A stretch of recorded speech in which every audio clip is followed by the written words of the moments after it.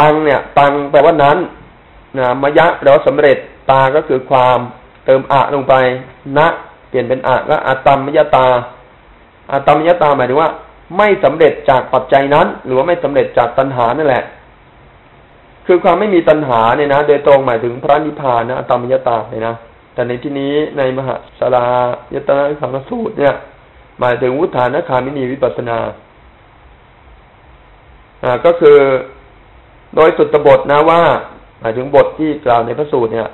ดูก่อนพิสุทธ์ทั้งหลาย ท่านทั้งหลายจงอิงอะตมมยตา อาศัยอะตมมยตา ละเสียก้าวล่วงเสียซึ่งอุเบกขาอันเป็นเอกตะนะความมีสภาพเดียวเลยนะ เป็นเอกตะสิตะ อาศัยอารมณ์อันเดียวนี้ ดังนี้อันนี้ก็เรียกว่าอะตมยตานะ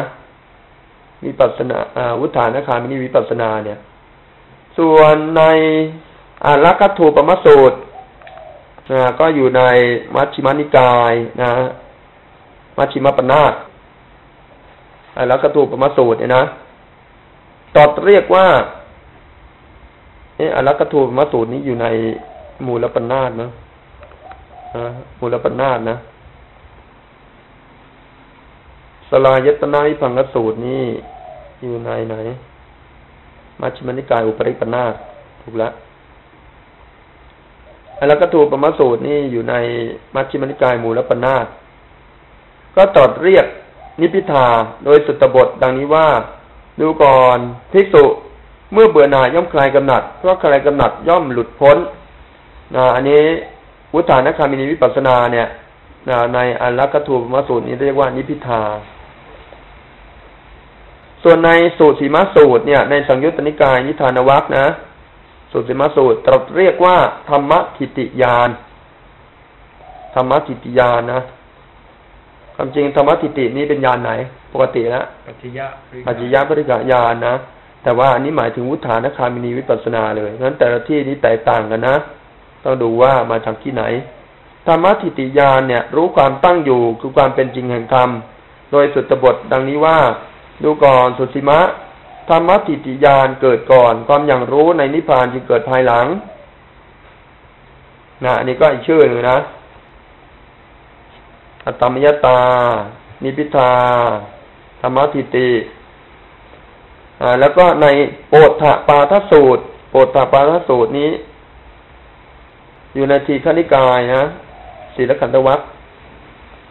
โอตถปาทะ ก็ตัดเรียกว่าสัญญคะสัญญคะก็คือเป็นยอดของสัญญาอ่าเป็นสัญญาที่สามารถที่จะทำให้ออกจากวัตตะได้นะพุทธานะคามินีวิปัสนาเนี่ย โดยสุตบทดังนี้ว่า ดูก่อนโปตปาทะสัญญาแลเกิดขึ้นก่อน ญาณจึงเกิดภายหลังนะก็คือสัญญาในไหนอันนี้จาสัญญาทุกขสัญญา แล้วก็อนัตตสัญญาเกิดขึ้นก่อนนะญาณก็คือ อรหัตมรรคยานเป็นต้นหรือว่าอริยมรรคยานเนี่ย เป็นต้นนี่เกิดขึ้นภายหลัง ส่วนในทัสุตรสูตร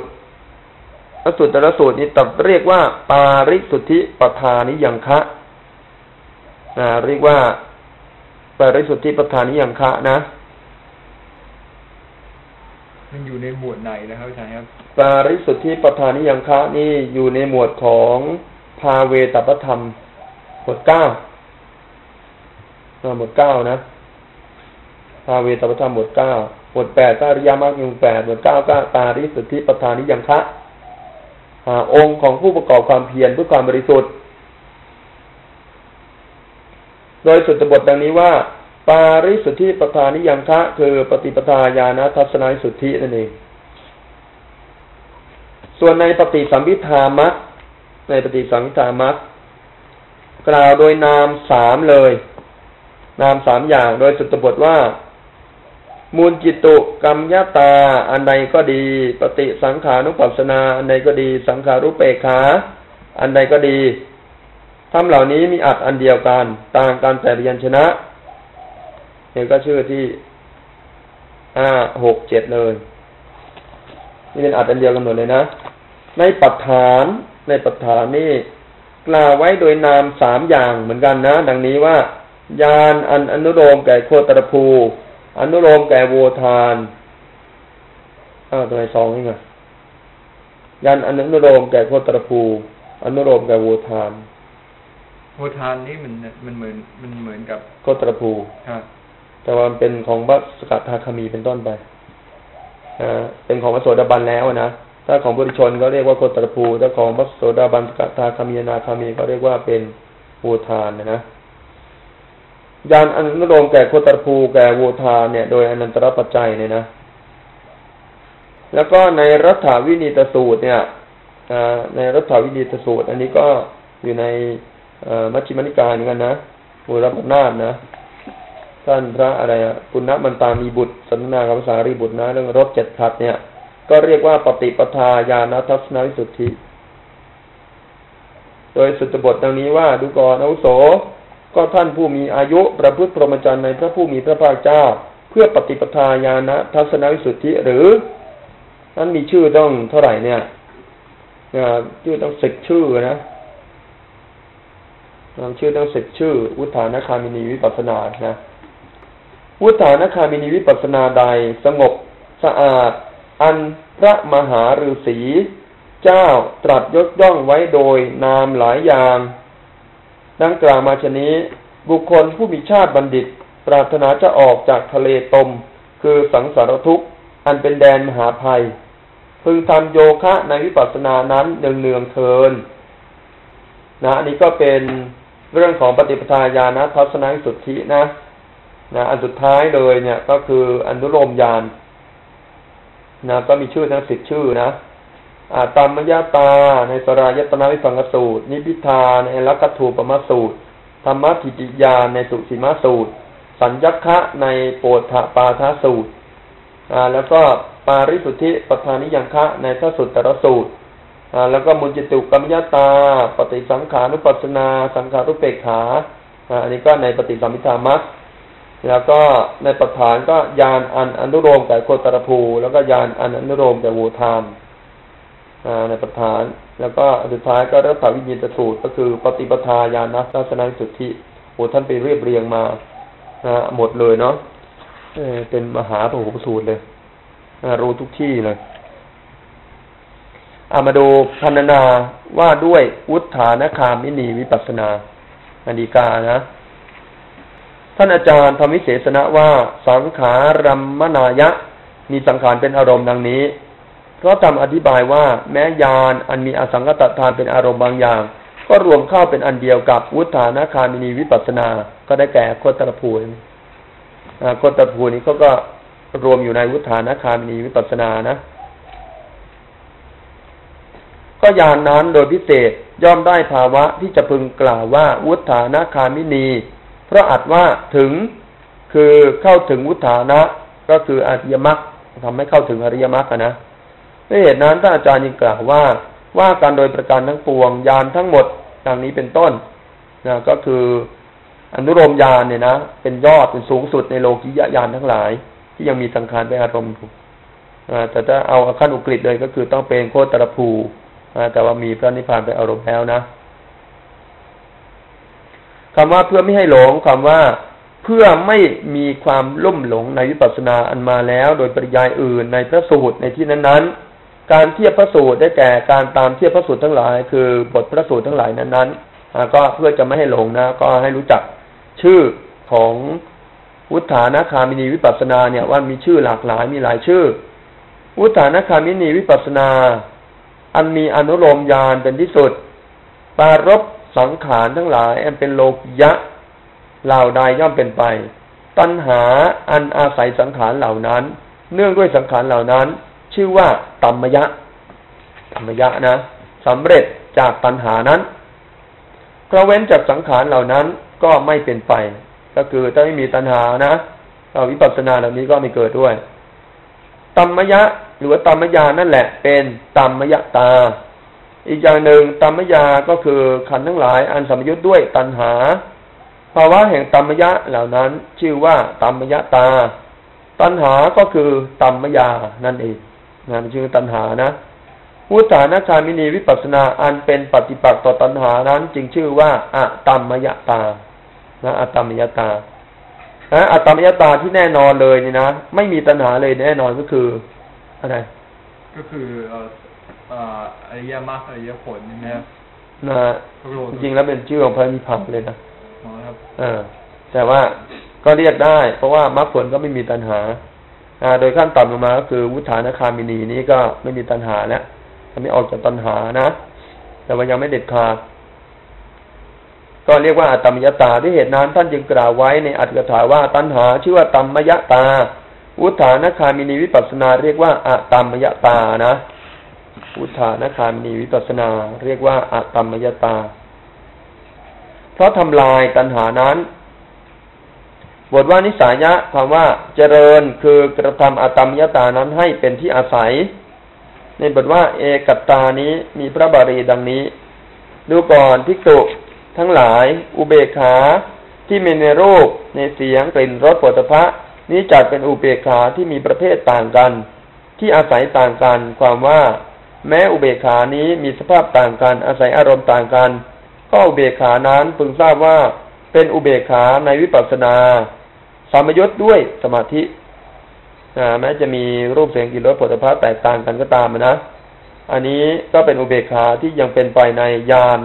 ขั้นต่ำอยู่นะ เพราะว่าถ้าเป็นในระดับอนุโลมญาณนี่นะมันมีอย่างเดียวแล้วนะมีอารมณ์อย่างเดียว เป็นนามก็ได้นะ เป็นรูปก็ได้ เพราะว่าเป็นสังขารอยู่ใช่ไหมแล้วก็เป็นอนิจจังก็ได้ทุกขังก็ได้นัตตาก็ได้นะนั้นก็อารมณ์เดียว แต่ว่าในยานก่อนหน้านั้นก็มีอารมณ์หลากหลายนะอุเบกขาที่เกิดขึ้นก็เป็นไปในอารมณ์ต่างๆ ประเภทต่างๆได้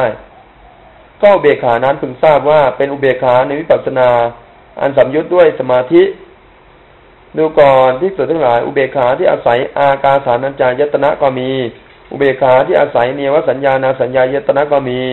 ดูก่อนภิกษุทั้งหลาย นี้จัดเป็นอุเบกขาที่มีความเป็นหนึ่ง ที่อาศัยอารมณ์เป็นหนึ่งหมายถึงว่าอุเบกขาในสมาธิ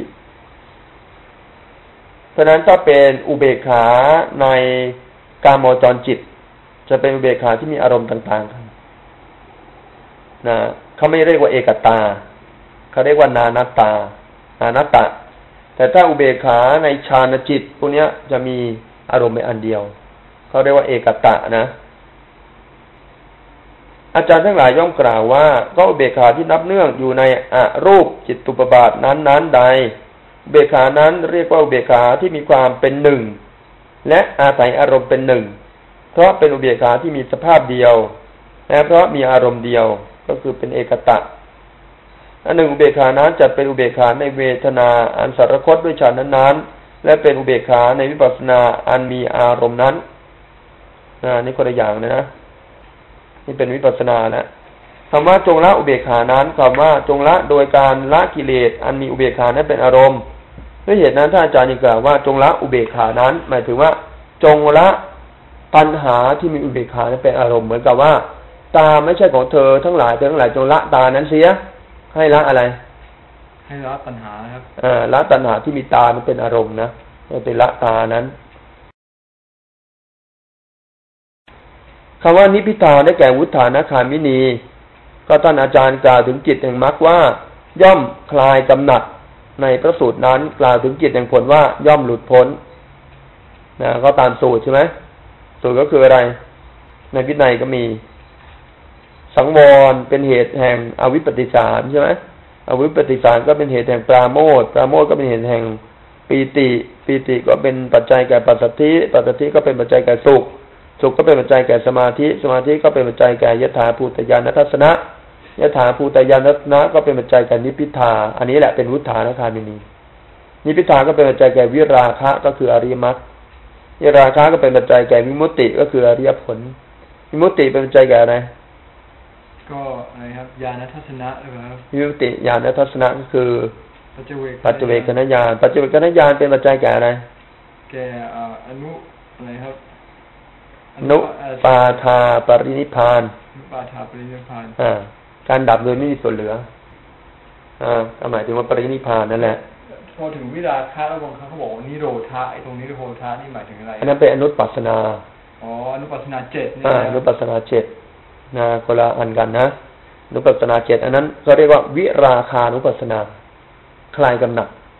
น้อมไปในการที่จะคลายตัณหา คลายกิเลสอกุศลต่างๆน้อมไปในความดับนะก็ในสุสีมะสูตรนะ ในนิทานวัคเนี่ยในสุสีมะอันนี้เขียนสุริมะนะ สุสีมะ ในสุสีมะสูตรนั้นตรัสเรียกว่าธรรมทิติยาน ได้แก่วุฒานคามินี เพราะเป็นไปด้วยอำนาจความไม่หลงในความตั้งอยู่แห่งธรรม คือในปฏิจจสุบาท พระผู้มีพระภาคตรัสมัคคยานว่าความอย่างรู้ในนิพพาน เออ ปฏิจจสุบาทเนี่ยเป็นอารมณ์ของวิปัสสนาญาณไหน ก็มันเริ่มต้นจากปัจจยพยุริขายานานะครับ อ่า แต่ความจริงแล้วก็เห็นเขาพิจารณามาทุก ทุกยานนะครับใช่จนถึงสุดท้ายเลยอ่าพระนักพุทธเจ้าเนี่ยพิจารณาปฏิจจสุบาทเนี่ยนะสี่ชั่วโมงอะครับอ่าพิจารณาสี่ชั่วโมงอะถ้าปฏิจจสุบาทเนี่ยถามว่าตอนเนี้ยนะชีวิตของเรามันเป็นปฏิจจสุบาทหรือเปล่าเป็นอยู่ตลอดเลยคเอรับอก็เป็นอยู่ตลอดเลยอะ นะแต่ถ้าจะพูดถึงโดยในพระสูตรเนี่ยตอนนี้ชีวิตของเราเนี่ยมันจะมีสองส่วนนะ มันเกี่ยวเนื่องกันก็คือ ตอนนี้อยู่ส่วนกลางนะ อยู่ส่วนกลาง ก็คือว่าอวิชชาตันหาไออวิชชาสังขารในอดีตเนี่ยนะมันเป็นปัจจัยมาแล้ว ตอนนี้ก็เป็นปัจจัยแก่วิญญาณนามรูปสรายตนะภาษะเวทนานะนะนี่เป็นปัจจุบันใช่ไหมแล้วตอนนี้มันก็มีตัณหา มีอุปาทานนะก็มีกรรมภพใช่ไหมมันก็จะเป็นปัจจัยแก่ชาติชรามรณะในอนาคต ถูกไหมใช่นะเพราะฉะนั้นเนี่ยนี่ปัจจุบันของเราเนี่ยเป็นส่วนกลางนะ ก็คือมี ปัจจุบันผลกับมีปัจจุบันเหตุนะ ซึ่งเราสามารถพิจารณาให้เห็นในปัจจุบันแล้วก็ย้อนไปในอดีตว่ามาจากไหน แล้วก็จะเป็นปัจจัยแก่อนาคตอย่างไร แต่จะพิจารณาอีกแง่หนึ่งก็คือว่า ตอนนี้เราแก่หรือเปล่าเนี่ย แกลงทุกขณะเลยครับ เจ็บหรือเปล่า เจ็บแล้ว เจ็บไข้ได้ป่วย อ๋อ ก็เจ็บ แล้วก็ตายทุกขณะหรือเปล่า ทุกขณะ แล้วใกล้จะตายจริงๆไหมก็จริงครับ อันเนี้ยมันเป็นอนาคตของอดีตชาตินะใช่ไหมเป็นเป็นอนาคตของอดีต มันเป็นชรามรณะที่เป็นผลของอะไร อ่ามันเป็นชาติชรามรณะที่เป็นผลของกรรมภพในอดีตครับนะกรรมภพก็เป็นผลของอุปาทานแล้วก็เป็นผลของตัณหาใช่ไหมนะเพราะฉะนั้นนี่ก็เราก็พิจารณาถึงในอดีตได้เหมือนกันว่า ในปัจจุบันนี้มันก็แก่เจ็บตายซึ่งเป็นผลมาจากตัณหาอุปาทานและกรรมภพในอดีต แล้วก็ปัจจุบันนี้ถามว่าตัณหาเกิดขึ้นอวิชชาเกิดด้วยหรือเปล่าก็ต้องเกิดนะก็อวิชชาในปัจจุบันนี้และสังขารทั้งชาติเป็นใจกับสังขารในปัจจุบันนี้ ก็จะเป็นอดีตของชาติหน้านะครับ ก็จะเป็นอดีตของชาติหน้า ชาติหน้าก็จะต้องมีวิญญาณนามรูปสลายตนะภาษาเวทนาต่อไปใช่ไหมครับอ่าเพราะฉะนั้นก็พิจารณาได้ตลอดเลยอ่าพิจารณานามธรรมรูปธรรมที่ไม่เที่ยงเป็นทุกข์เป็นอนัตตาก็พิจารณาปฏิจจสุบาทนั่นแหละอ่าโดยที่เห็นว่าวิญญาณ ในปัจจุบันนี้เป็นผลของสังขารในอดีต แม้วิญญาณก็ไม่เที่ยงเป็นทุกข์เป็นอนัตตา ในพระสูตที่เราตรวจกันไง เรื่องอะไรเหตุอะไรเนี่ยได้ไหมนะรูปไม่เที่ยง แม้เหตุปัจจัยที่ทำให้เกิดรูปนั้นก็ไม่เที่ยง รูปอันเกิดจากปัจจัยที่ไม่เที่ยง จะเที่ยงแต่ที่ไหนอ่าเราสวดกันจำได้ไหมอันห้านะเวทนาก็เป็นทุกข์ปัจจัยที่ทำให้เกิดเวทนาก็เป็นทุกข์ เวทนาที่เกิดจากปัจจัยที่เป็นทุกข์จะเป็นสุขแต่ที่ไหนอ่าเพราะนั้นก็พิจารณาตัวธรรมะพร้อมทั้งเหตุได้นะพร้อมทั้งเหตุนะพิจารณาอดีตนะก็ปัจจุบันเป็นปฏิจจสุบาทโดยความไม่เที่ยงเป็นทุกข์เป็นอนัตตาก็ได้ไปถึงนู่นแหละสังขารรูปเปกขังก็ยังสามารถพิจารณาปฏิจจสุบาทได้เลยนะอ่าแต่โดยตรงเนี่ยพิจารณามันเริ่มต้นตั้งแต่ปัจจยปริขายานในสุสิมาสูตรนี่นะตัดเรียกธรรมทิติยานได้แก่วุฒานคามินี เพราะเป็นไปด้วยอำนาจความไม่หลงในความตั้งอยู่แห่งธรรมคือในปฏิจจสุบาท พระผู้มีพระภาคตรัสมรรคยานว่าความอย่างรู้ในนิพพานอันธรรมะทิติยานเกิดก่อน ความอย่างรู้ในนิพพานเกิดที่หลัง มันก็ถูกแล้วใช่ไหมต้องเป็นวิปัสสนาญาณวุฒานคามินีก่อน แล้วก็จะได้เป็นมรรคยานที่หลังนะพระผู้มีพระภาคตรัสว่าสัญญาดังนี้เท่านั้นในคำว่าดูก่อนโปตปาทะในโปตปาทะสูตรนี่นะ สัญญาแลนี้โดยแท้ถึงอย่างนั้น เราได้ตรัสไว้ว่าโยคาวจรย่อมบรรลุยอดสัญญานะก็คือสัญญคะนี่นะ ในก่อนท่านอาจารย์ยังกล่าวว่าตรัสเรียกสัญญคะว่ายอดสัญญาดังนี้ เพราะมันเป็นยอดนะของสัญญาที่เป็นเหตุที่ทำให้พ้นจากทุกข์นะสัญญาในอนิจจสัญญาทุกขสัญญานัตตสัญญาเป็นยอดครับในวุฒานะคามินี วุฒานคามินีอันเป็นส่วนหนึ่ง แห่งปฏิปทาญาณทัศนวิสุทธินั้นจะเรียกว่าปฏิปทาญาณทัศนวิสุทธิจึงอยู่โวหารทั้งหลายอันเป็นไปในส่วนรวม ย่อมเป็นไปแม้ในส่วนย่อยนะก็คืออะไร เช่น เคยไปบางแสนไหมไม่ได้ไปนานโอ้เป็นเลนเคยไปไหมเคยนะเคยไป พอวิ่งรถเข้าไปปุ๊บมันจะเห็นทะเลสีฟ้าเลยสีเงินเลยใช่ไหมครับเออแต่ว่าเห็นทะเลทั้งหมดหรือเปล่า ก็ไม่เห็นทั้งหมดครับแต่ว่าบอกว่าเห็นทะเลแล้วครับอ่าอันนี้ก็เรียกว่าโวหารนะ ส่วนรวมเนี่ยย่อมเป็นไปในส่วนย่อยหรือว่าโวหารส่วนย่อยก็หมายถึงส่วนรวมได้ เห็นทะเลส่วนนิดเดียวแต่ว่ากล่าวว่าเห็นทะเลมันเหมือนกับเห็นทั้งหมด แต่ความจริงแล้วเห็นส่วนเดียว นี่ก็เหมือนกันนั่นกล่าวว่าปฏิปทาญาณทัศนสุทธิเนี่ย มันกว้าง มันรวมวุฒานคามินีไว้ด้วย วุฒานคามินีวิปัสสนาเนี่ยนะเป็นส่วนหนึ่งของปฏิปทาญาณทัศนวิสุทธิ ปฏิปทาญาณทัศนวิสุทธินี่เริ่มเมื่อไหร่ก็ท่านบอกว่าตั้งแต่ทางขารุเบกขายานเนี่ยนะครับใช่ไหมครัอืบมใช่เหรอไม่ใช่เหรอครับตั้งแต่นู้นพังคานุปัสสนาญาณปฏิปทาญาณทัศนวิสุทธิเนี่ยนะครับได้ นะตั้งแต่พังคานุปัสนาญาณนะ ก็คือมัคคามัคคะญาณทัศนสุทธิเนี่ยเป็นการข้ามวิปัสสนูปกิเลสได้ใช่ไหมข้ามวิปัสสนูปกิเลสได้เพราะฉะนั้นก็รู้ว่าอะไรเป็นทางอะไรไม่ใช่ทางแล้วแล้วก็น้อมไปในการที่จะเห็นโดยความดับนะอันนี้ก็จะเริ่มเป็นปฏิปทาญาณทัศนวิสุทธินะอ่าเปิดหน้า ร้อยยี่สิบห้าอุทยพยญาณเนี่ยบำเพ็ญซ้ำนะเป็นพระวะนะ ปฏิปทาญาณทัศนสุทธิ ก็เริ่มตั้งแต่นี่เลย อุทยพยญาณที่เป็นพระวะวิปัสสนานะ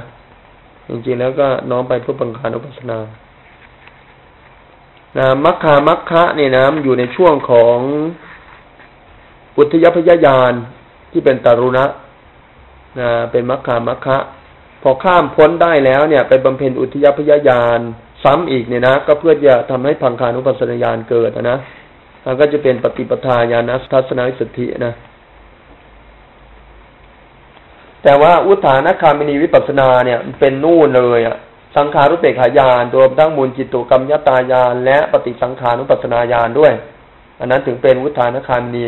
วิปัสสนานะ นั่นก็บอกว่ารวมอยู่ในปฏิปทาญาณทัศนสุทธิ ส่วนคำว่า ปาริสุทธิประธานนิยังคะก็ได้แก่เหตุอันเป็นประธานแห่งความบริสุทธิ์ เหตุอันเป็นประธานแห่งความบริสุทธิ์นะอันนี้ก็เป็นวุฒานคามมีวิปัสสนาเหมือนกันนะคำว่าโดยนามสามอย่างก็โดยนามสามอย่างคืออนุโลมโคตรภูแล้วก็อุทานนะเมื่อครู่นี้บอกในประฐานนะประฐานมีนามสามอย่างเนี่ย นะก็ได้แก่อนุโลมอันหนึ่งแล้วก็โคตรภูอันหนึ่งแล้วก็อุทานอันหนึ่งเอาอนุโลมด้วยเนี่ยก็เลยกลายเป็นสิบเอ็ดตัวนี้กลายเป็นสิบเอ็ดชื่อเลย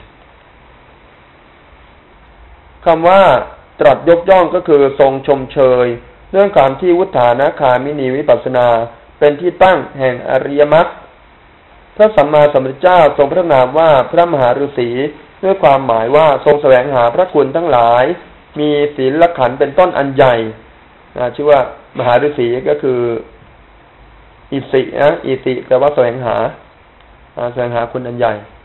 คำว่าโยคะได้แก่ภาวนาหรือว่าการประกอบยิ่งในภาวนานั่นเอง อันนี้พนาปฏิปทาญาณทัศนวิสุทธินิเทศก็จบนะ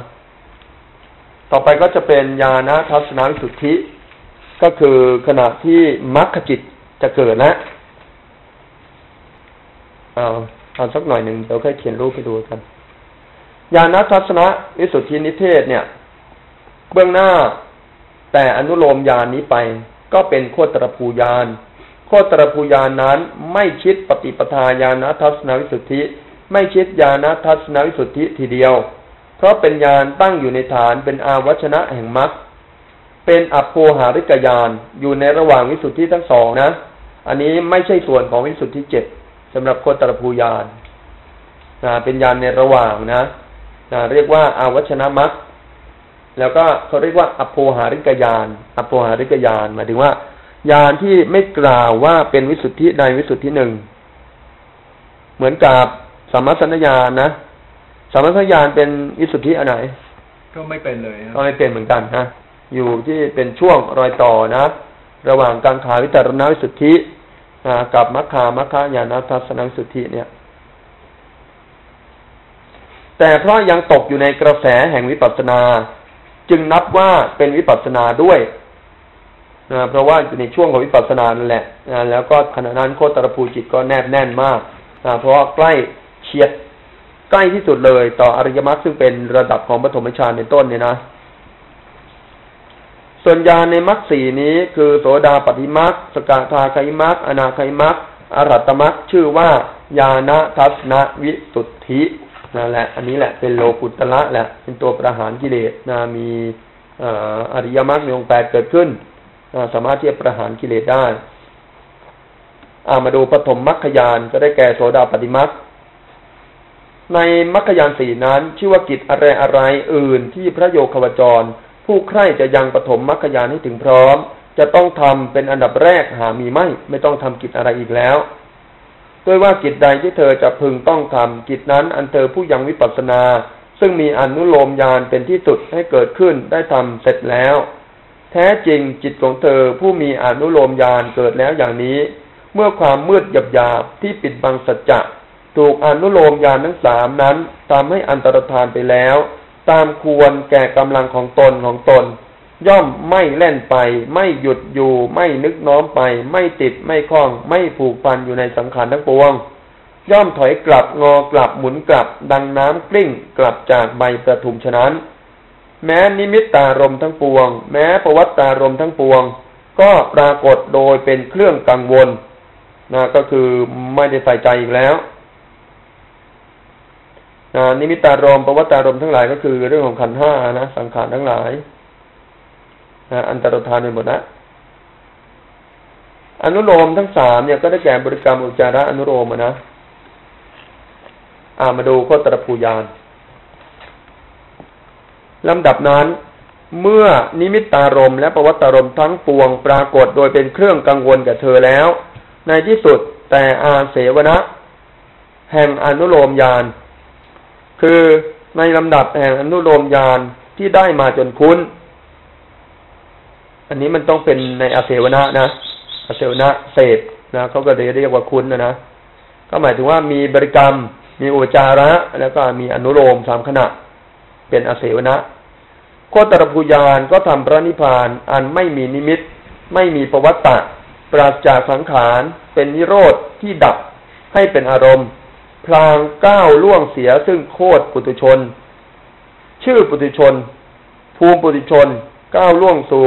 โคตรอริยะ ชื่ออริยะ ภูมิอริยะ เป็นปฐมอาวัชนะ ความนึกหน่วงครั้งแรกนะ เป็นปฐมอาโภคะ ความคำนึงครั้งแรกปฐมสมนาหาร ความประมวลจิตครั้งแรกนะนี่เป็นชื่อของอันเดียวกันหมดเลยนะ ใช้คำว่า อาวัชนะ อาโภคะ หรือว่าสมนาหารเนี่ยนะ ประมวลจิตครั้งแรก ในนิพพานารมยังความเป็นปัจจัยแห่งมรรคโดยอาการหกด้วยอำนาจอนันตระปัจจัย สมนันตระปัจจัย อาเสวนปัจจัย อุปนิสยปัจจัยเป็นประเภท อนันตารูปนิสยปัจจัย อนันตารูปนิสยนะ แล้วก็อีกอันหนึ่งคืออะไรเขาเขียนว่าไงเนี่ย นับทีหรืออัติคีสมันอนันตระสมันตระอาเสวนะอุปนิสยาอัติวิคตาต้องแก้เป็นนับทีอัติแปลว่ายังมีอยู่นะอันโคตรภูต้องดับไปก่อนต้องไม่มีแล้วนะถึงจะทำให้มรรคเกิดได้นะนั่นก็เป็นปัจจัยด้วยการหกอย่างนี้ ให้สำเร็จถึงญาณที่ถึงยอดเลย เป็นศีรษะของวิปัสสนาเลยนะ ไม่เวียนกลับมาอีก เพราะเกิดขึ้นครั้งเดียว เกิดขึ้นซึ่งท่านหมายถึงกล่าวไว้ในปฏิสัมพิธามักว่า ความรู้ในอันหมุนกลับ คือออกจากสิ่งภายนอก คือสังขารได้ชื่อว่าโคตรปูยานเป็นอย่างไร ความรู้ใดครอบงำเสียได้ ซึ่งอุปาทะเหตุนี้ความรู้นั้นจึงชื่อว่าโคตรภูครอบงำ อุปทานคือความเกิดนะ ความรู้ใดครอบงำเสียได้ซึ่งประวัตตะหรือว่าครอบงำได้เสียซึ่งนิมิตตะ ครอบงำได้เสียซึ่งอายุหนะ ก็อัดสิบห้าอย่างจำได้ไหมอุปาทะปวัตตะ นิมิตตาอายุหนะ ปฏิสนธินะแล้วก็อะไรอีกนะคติ ชาชรามรณะโสกาปริเทวะสิบห้าอย่างในนิพิทายานไง พิจารณาอุปาทะโดยความเป็นภัย อนุปาทะโดยความปลอดภัยพิจารณาพยตุปฐานญาณพิจารณาว่า นิมิตะเป็นภัยนะสันติปัฏญาณพิจารณาว่า นิมิตะปลอดภัยนะก็พิจารณาไปถึงนู่นเลยนะโกตรทูยาเลย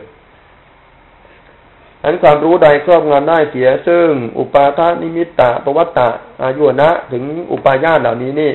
เหตุนี้ความรู้นั้นจึงชื่อว่าโคตรภู ความรู้ใดครอบงำเสียได้ ซึ่งสิ่งภายนอก คือสังขารนิมิต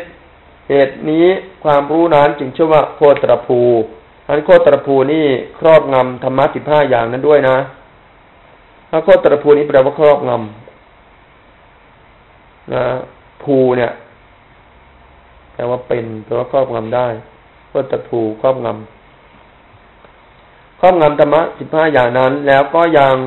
ครอบงำซึ่งสังขารและนิมิตภายนอกด้วย ก็คือขันห้านะ